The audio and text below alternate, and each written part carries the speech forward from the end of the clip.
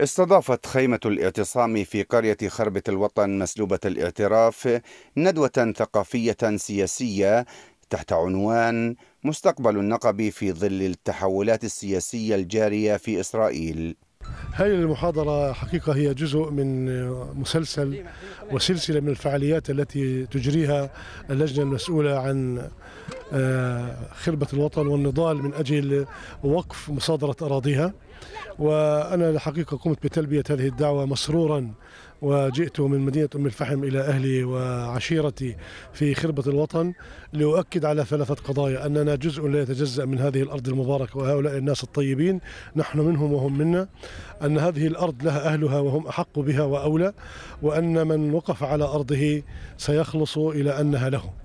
وتعاني القرية من تشجير وتجريف أراضيها حيث يناضل السكان من أجل التصدي لهذا المخطط في ظل معاناة الأهالي في القرى غير المعترف بها في كافة أنحاء النقب تحدث حول مستقبل النقب في ظل التحولات السياسية الجارية في إسرائيل آه، حيث طرح عدة سيناريوهات يعني آه، لمستقبل العلاقة بين أهل النقب وبين السلطة القائمة وتبعات كل سيناريو من هذه السيناريوهات.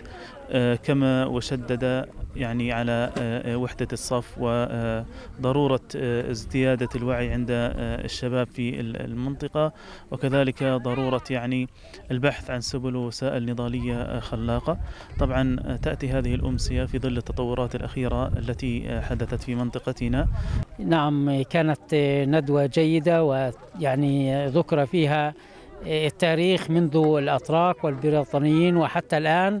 يعني هذه الندوات يعني نحن نثمنها عاليا لأن بالفعل تعطي تاريخ هذه المنطقة التاريخ الصادق الأمين ويعني يشجع الناس على صمودهم على هذه الأرض الطيبة. ونحن مستمرون في نضالنا حتى ننال كل حقوقنا بعون الله تعالى.